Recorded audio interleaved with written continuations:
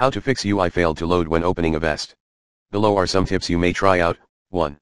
Hit the exit button, if available, reopen your Avast software later.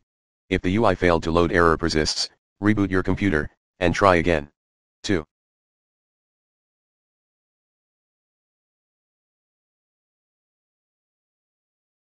Click the restart button, if available, on the error message.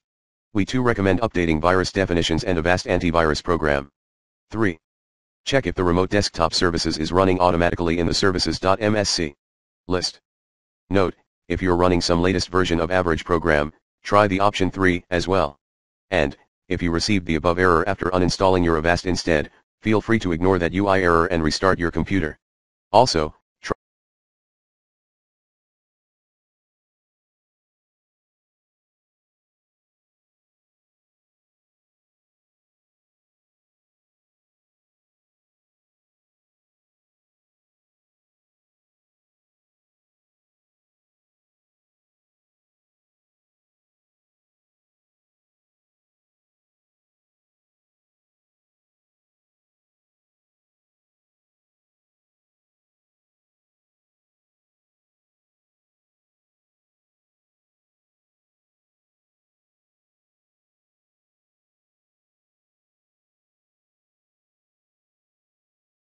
The repair method with Windows 10 settings, apps, or control panel, https colon slash slash goo.gl slash jirk1.